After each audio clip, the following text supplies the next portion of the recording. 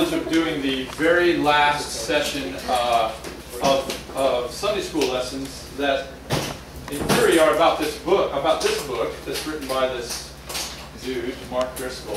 But really this book and this whole session is, uh, or the whole series of Sunday school lessons that you have been going through. Thank you. You notice my Jedi reflexes are still working. Um, has been from the book of Ephesians, which is a letter that the Apostle Paul wrote to a church in Ephesus. So, um, with, with, my lovely, oh, I forgot that we videotaped this. Do you mind if I just sit this way? Because from this way I look a little fat on my chin. You do not. Hey, zoom out. Back it out. We uh, get did it a little. Uh, okay, sorry for that distraction. So, um, I, uh, I did learn my lesson from the last time I was here, and I tried to put as much much of the scripture and other things in PowerPoint, so that I'm going to ask several of you to read the passage that uh, that we have today. Uh, but before that, I want to give you a quick reminder. So you have had uh, a whole bunch of lessons um, from the book of Ephesians, taught by a whole bunch of uh, great people, better than me. Uh, the last one, last week was my friend Craig Minnick was here, wasn't he? Uh-huh. For those of you that were here? Yeah, and um, so I get, uh, I'm thrilled to have the last section of Ephesians. So today I want to just uh, do three quick things. One, I'm going to give you a quick summary of, of uh, a little background on Ephesians and who Paul was writing to. Then we're going to read the passage, and I want you to pay attention because I'm going to ask you to give me some feedback after we read it. This is like the last uh, few verses of the book of Ephesians. And, um, and, uh, and then we'll talk about it because this is where the book gets a little bit weird. And today we're going to talk about a part of our, uh, of our faith. When we claim to be Christians, there are some pretty fantastic things that we believe, or some pretty uh, things that to the rest of the world look a little uh, out there a little crazy. And today we're going to talk about one of those things, uh, the subject of a spiritual battle. And so, uh, and Paul writes this letter to the church in Ephesus. So, uh, Chris, page through a couple of pages here. Um, you can skip that one. Uh, so, Paul wrote this letter to some people in Ephesus, which I don't know if you can see that, but Ephesus is still there today. It's in Turkey. Has anyone ever been to Turkey? There's a big tragedy there this last week. Um, so uh, Paul wrote this to uh, the church in Ephesus. So Ephesus to them in the Roman world was kind of like Chicago is to us today, right? Like uh, in those days, Rome was the cool, the most populated, and the, the center of all activity. Like in North America, we would the analogy would be New York. And there was a city in uh, Egypt called Alexandria that was uh, on the beach and uh, was also a center. That's sort of analogous to our Los Angeles, right? So New York, LA, and then there's Chicago.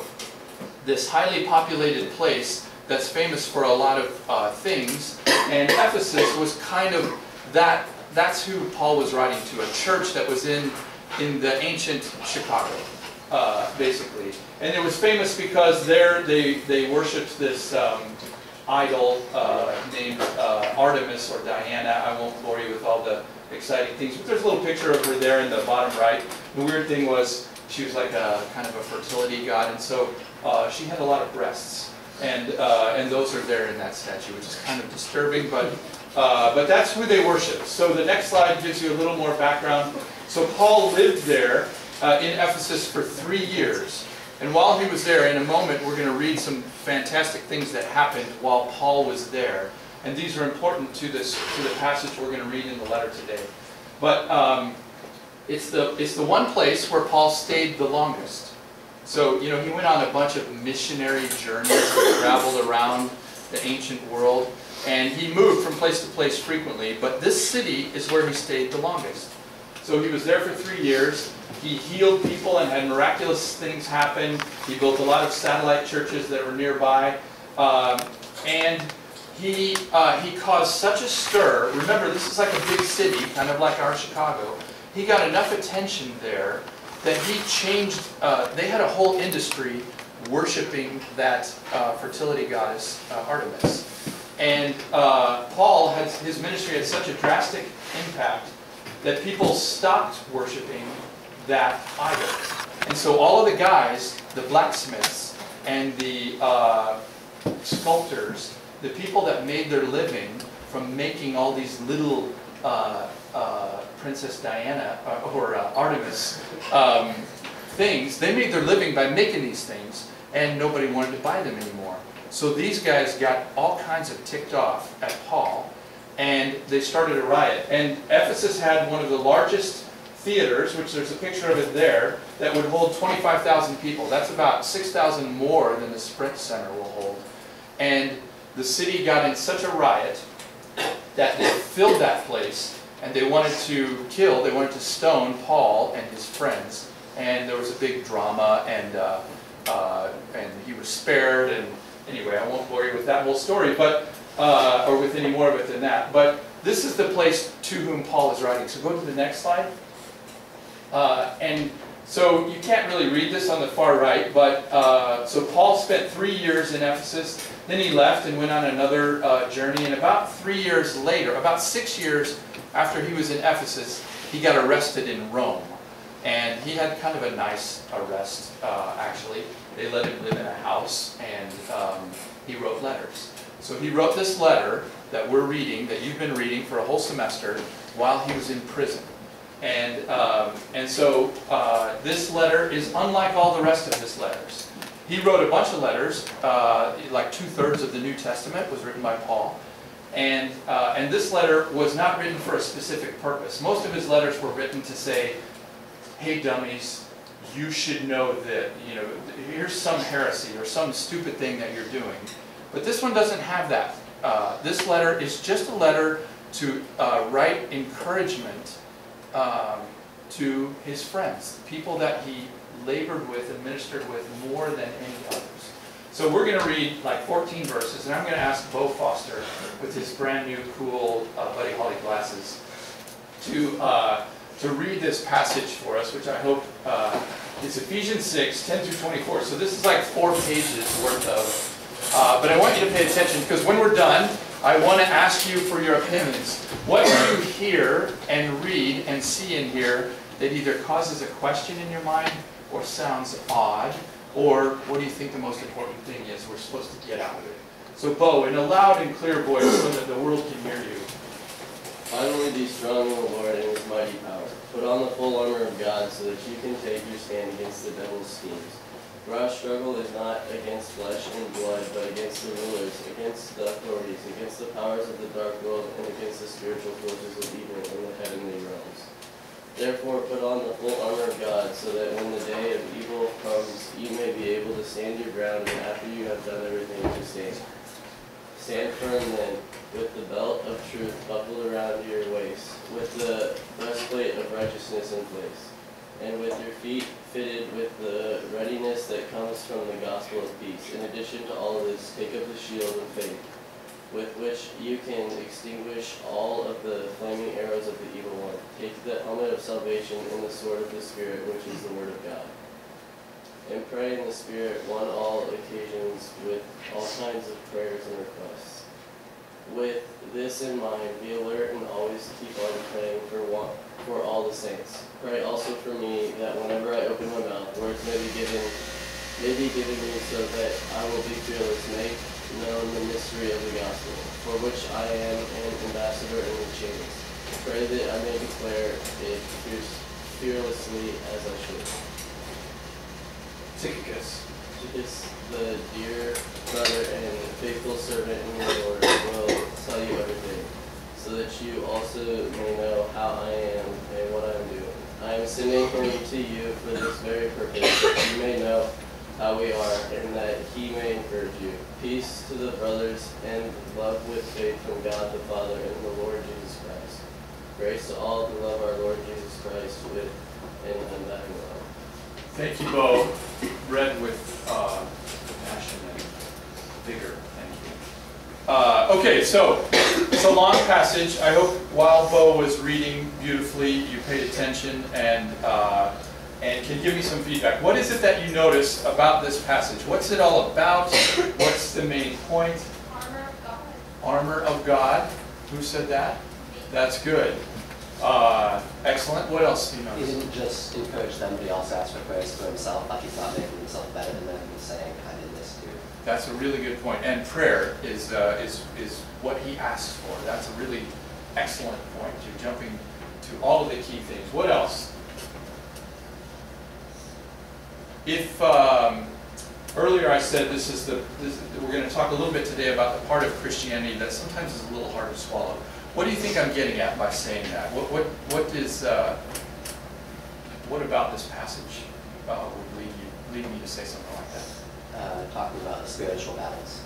Yes, exactly. He talks about armor. He talks about being prepared for battle. Um, so, what what is he talking about? Is he talking about a literal physical fight? Uh, Mr. Muller? No. You shook his your head. What is he talking about? Do you know? fight inside of us.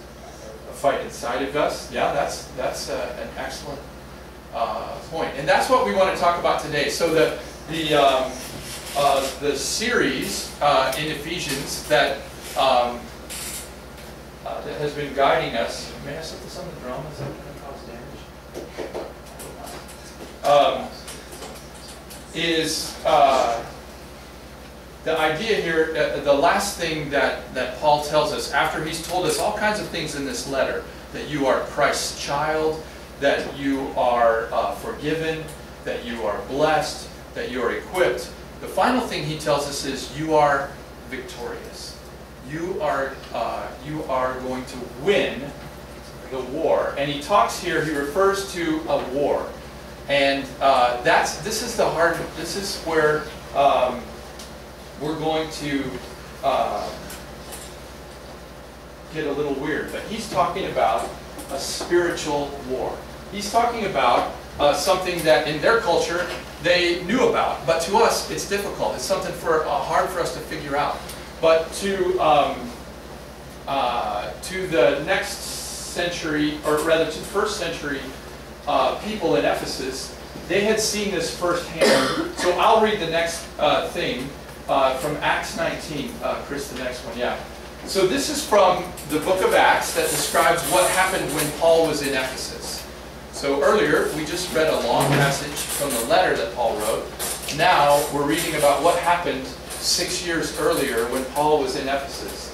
And, and uh, the writer of Acts says, God did extraordinary miracles through Paul, so that even handkerchiefs and aprons that had touched him were taken to the sick, and their illnesses were cured, and the evil spirits left them. So, so these, his handkerchief was almost like it had poison ivy oil on it, right?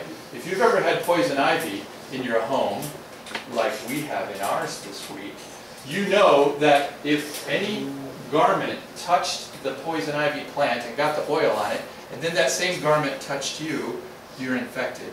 Well, the opposite, the reverse happened for Paul. Even his handkerchief could be laid on someone who was ill and they were healed. This is like miraculous, weird stuff that we don't see every day.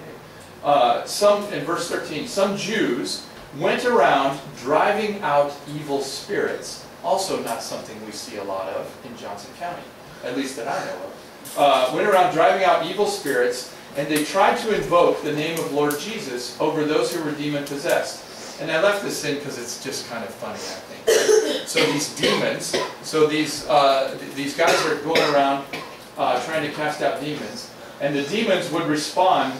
Um, the, or the guys casting out the demons would say, "In the name of Jesus, whom Paul preaches, I command you to come out."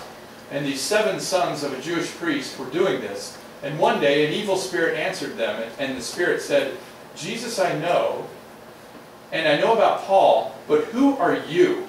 And go to the next slide. And then the man who had the evil spirit jumped on them, these seven men, seven guys were trying to cast out an evil spirit. Uh, he jumped on them and overpowered them all. He gave them such a beating that they ran out of the house naked and bleeding. Isn't that sad? But but that's kind of a, uh, a strange thing, right? Uh, the, the, the, this spiritual world meets the physical world uh, at least back in Ephesus. When this became known, the Jews and the Greeks that were living in Ephesus, they were all seized with fear, and the name of the Lord Jesus was held in very in high honor. Many of those who believed now came and openly confessed their evil deeds. A number who had practiced sorcery brought their scrolls together and burned them publicly. And when they calculated the value of the scrolls, it came to 50,000 drachmas, which is a whole lot of money. Uh, and in this way, the word of the Lord spread widely and grew in power. So, when Paul writes to them about this spiritual battle and this armor that they need to put on, he is talking about an actual war that is taking place between, between God's agents and Satan's agents. And he means it is a literal war. It is a, there are literal beings in a spiritual world that we can't see that are at war. And he is, Paul is claiming in this letter that we, humans, have some impact on that war. This is the fantastic, weird part that, that a lot of people, when they get around to this part of Christianity, they want to roll their eyes and say, okay, now this is the cartoon part. This is the part I don't really want to have to believe because I've never seen it. I don't understand it. And it seems fantastic. It seems like just a story that someone wrote. So I'm not going to spend a whole lot of time today convincing you of the reality of it. I'm just going to point to the fact that Paul believed it was true. The people that were reading this letter, they had experienced what you just read about. They had seen the places where this spiritual world crosses over into the physical world. I'm watching my son Mitch fall asleep right now. Uh, yeah, I know. It's, it's just soothing over there. I can see how that would happen. Um, uh, I, I just, his eyes. Um, this, he is losing the spiritual battle right now.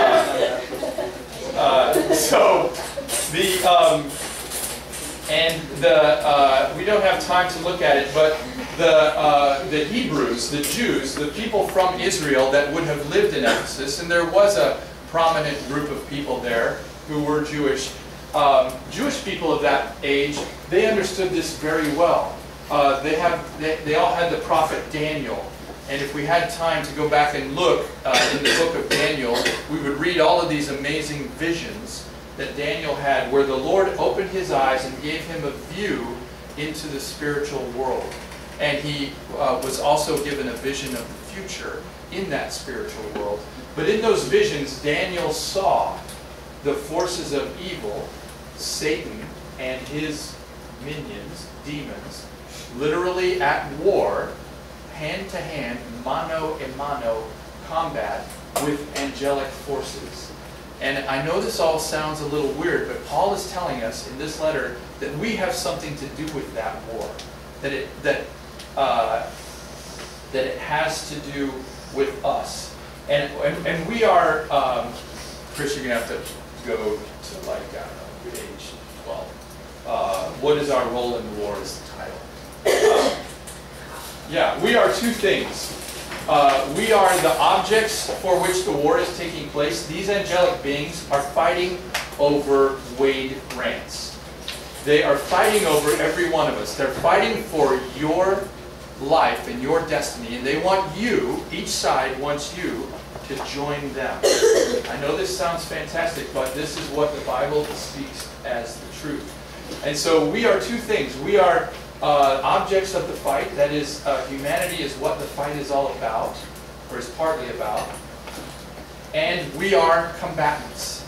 We're participants in this war. And that's what Paul is telling us here. You need to be ready you need to be prepared to uh, compete. And, uh, and what does he say our charge is? I'm going to go back and read it, but because I love it. It seems so simple, right? If you were going to war, you would want, wouldn't you want, you know, General Patton to give you a stirring speech that says your goal is to eradicate the enemy. Your goal is to take this hill. Your goal is to dominate a city, or your goal is to um, what take over the bank, or whatever.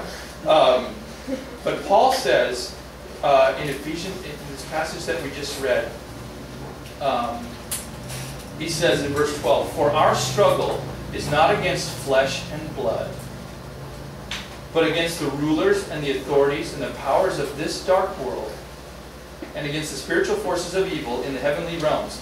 Therefore, put on the full armor of God, so that when the day of evil comes, you may be able to stand your ground. And after you have done everything, to stand. That's all he says. The goal of this war is for you to survive, to stand. It sounds underwhelming, doesn't it? If you're going to go fight a war, you want to dominate. You want to, you want to, you know, have some goal. But he says that your goal here, by putting on the armor, is to survive, to put up with, and to stand. Now, of course, there's another meaning to that. To stand is more than just to survive. If you're the last one standing in the battle, you have won, right? And so I put this little picture of William Wallace for everyone who's ever watched uh, the the the. Um, Braveheart. Thank you, Braveheart. Uh, uh, there are several great scenes in there where William Wallace uh, and his men, not always just him, but they remain standing. And that is the sign of victory, that, that you stand. So let's uh, briefly analyze what Paul has to say about how we are to fight this battle. Uh, and I'm going so quickly that I'm uh, losing myself. So he says, Be strong in, the Lord and in his mighty power. Put on the full armor of God. And then what is that armor? So I have a few slides that will describe that. Go to how to fight the belt of truth. So he gives us these five or six things that I'll only briefly uh, talk about. Why? Uh, so he says, put on the belt of truth. Why does he pick a belt? And you can't see it very well, but I've put in a little picture here on the right um, of a Roman soldier, because the people to whom Paul is writing this letter in Ephesus, they would all recognize a Roman soldier. The Romans dominated the world at that time, and um, so people would have seen a Roman soldier. And, and so I tried to uh, show you here that a belt is, uh, is like the most fundamental piece of equipment that the soldier has on. Uh, stay there, uh, go back a line, Chris. Um, it actually protects, and in those days the, the, the belt actually had all this leather stuff that would hang in the front and the back that protected some good parts. And, um, and also the belt uh, uh, is something from which everything else hangs. He would hang his sword there. And so, uh, so Paul makes the analogy that we should equip ourselves with the truth, that we should know what is true, that we should be able to say and speak what is true, and everything else that is, is going to help us in this battle hangs off of that thing, the truth. So it's important for you to know what's right, to know the difference between right and wrong, and to be able to uh, consistently live it. it needs, your life needs to reflect the truth, and everything else hangs off of that. So the next slide is, uh, he describes the breastplate of righteousness. So you can see there the guy has totally cut uh, abs uh, underneath that um, usually metal uh, breastplate.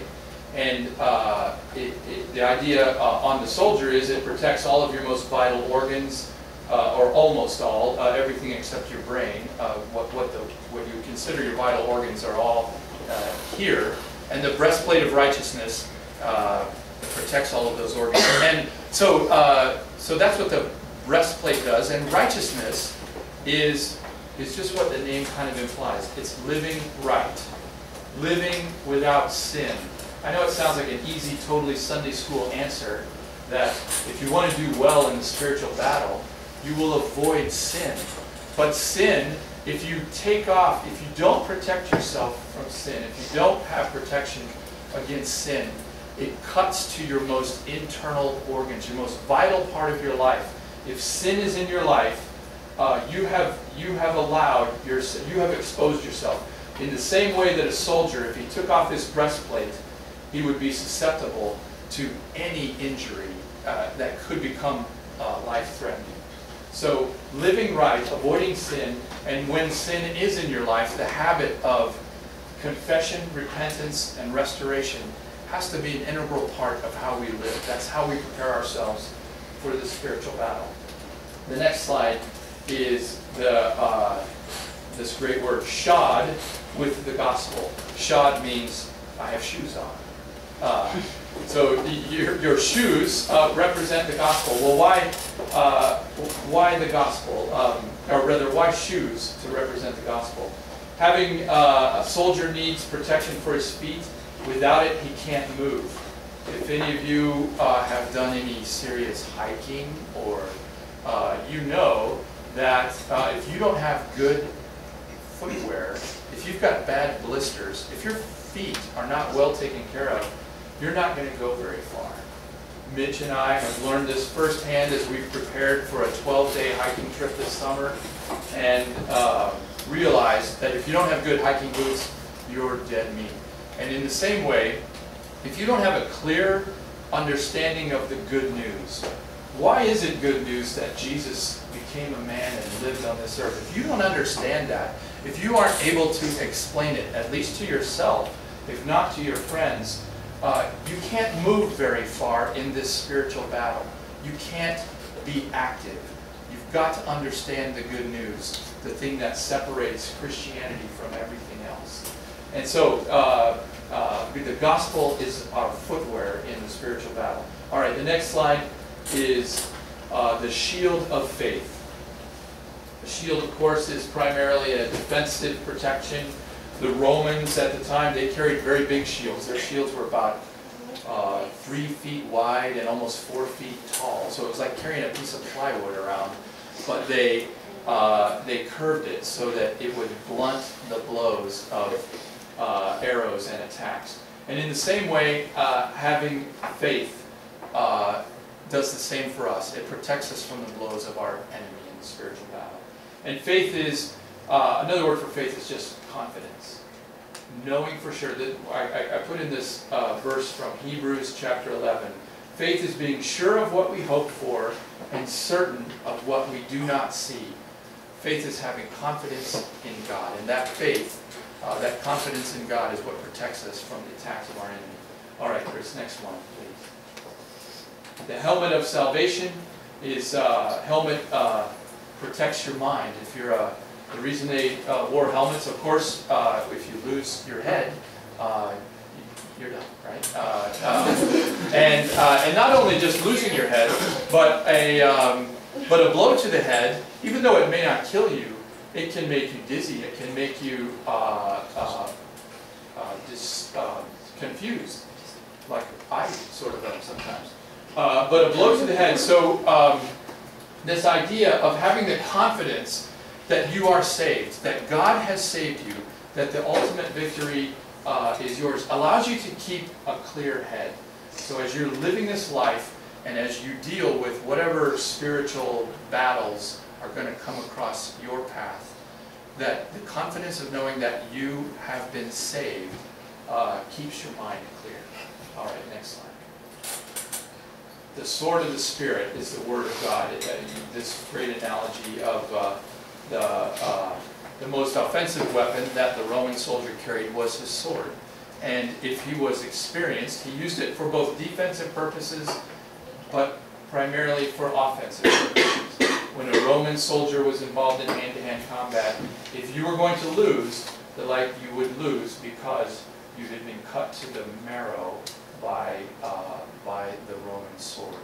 And, and in the same way, your ability as a spiritual warrior to know the word of the Lord and use it as in an, in as an experienced way as a Roman soldier would use his sword, that is our offensive weapon. You, you've heard a couple of times from uh, Craig Minnick. You know, I know uh, very few other people in my life that have committed so much of the Word of God to memory that uh, I've been in the room with Craig Minnick when he has been with people who are going through um, significant spiritual battles, either whatever, marriage trouble, financial trouble, and uh, the Lord uses the Word of God that Craig has committed to his mind. It comes out at just the right time and, uh, and in such a way that it has a drastic and amazing impact in the lives of the people around him because it is, uh, it is the sword of the Spirit. It is, uh, it, it cuts, uh, it cuts through all of the nonsense uh, that's around us and the, and the attacks of the enemy. So the sword of the Spirit, uh, it, it's important for us if we're going to fight the spiritual battle to be aware, uh, to know the Word of God. Um, memorize it, study, analyze it, and apply it in your own life. Next. And final, uh, I've, I've left one thing out. In the final part of this passage, the Apostle Paul says, uh, uh, one of you called him out. He says, pray for me. Pray always in the Spirit. And it's this idea of communication. If you're, if you're in a battle, and of course none of us have ever been in a real, probably, never been in a, uh, in a real battle. But when you are, communication with the other combatants is very important. Communication is among the most important things. If we're fighting together, I need to know what your plan is, and you need to know what my plan is. And so, and prayer is the way that we communicate with God. And that has got to be an integral part of our lives. And Paul is calling his friends in Ephesus to pray. He earlier in earlier in the book, uh, in the first chapter, you may not remember this, but many months ago, you, you learned about how uh, Paul prays for the Ephesians. And uh, he's now asking them to pray for him. I'm in prison.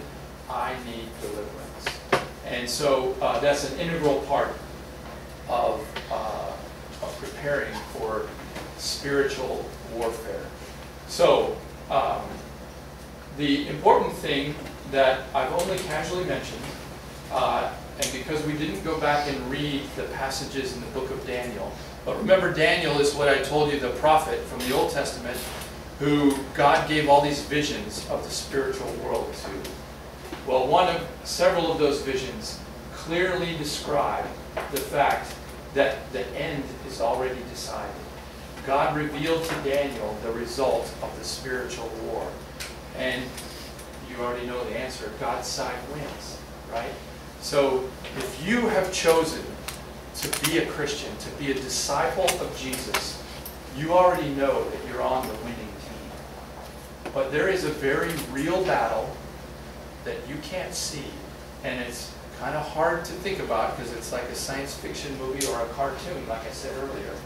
But your life has an impact in that battle. And that battle, as someone else over here said, is taking place in some ways inside you. Those combatants are fighting for your soul and for you to join one side or the other. And once you've decided, it is your responsibility to be a good soldier and equip yourselves and yourself in the way that Paul asks us to here. All right.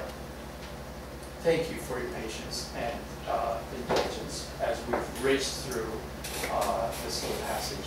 Let me, uh, if I may, I'll close this in prayer, and then are we done, Corey, or is there some? We're done, except if you go to Revolution, which we need to go to Revolution to talk to Tim Robbins. in the- Everybody will talk. All right, let me say a, a, a quick prayer for us. Heavenly Father, thank you for your word. Thank you for this picture and reminder of this world that uh, is so hard for us to uh, imagine and recognize. But we believe, Lord, and we, we understand that it is real. And that you, you left the- these words for us so that we would know that it's real, so that we would know how to prepare ourselves and protect ourselves and to be uh, involved in the spiritual battle. I pray for everyone here, Lord, for whatever battles and, and difficulties are going on in the lives of every person here. I ask God that you would uh, would reach into those situations, that you would uh, prepare those of us here uh, who are involved in those battles to be uh, to be your ambassador, to be uh, to carry the gospel of peace uh, into every one of those situations. We trust you, Lord, for the results. We thank you for the victory that you have already promised, that you already bring. And we lift this up in your Son's name. Amen.